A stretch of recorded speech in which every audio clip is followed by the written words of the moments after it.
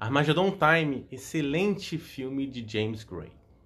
Exibido no Festival de Cannes, chega aos cinemas brasileiros nesse 10 de novembro um filme tocante que busca na força da família razões e emoções para um amadurecimento de um jovem que se vê rodeado de conflitos em um recorte norte-americano com um preconceito batendo de porta em porta, em um cenário político em ebulição, às vésperas da eleição do quadragésimo presidente dos Estados Unidos.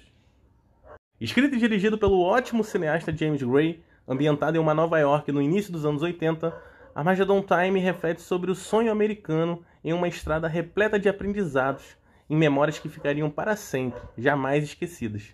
Em falar em memórias, o projeto é baseado nas da infância do próprio diretor.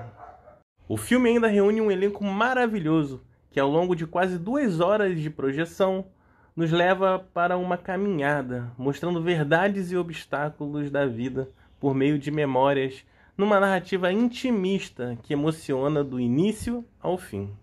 Magedon Time estreia dia 10 de novembro nos cinemas. E se eu fosse você, corria para assistir. Filmaço.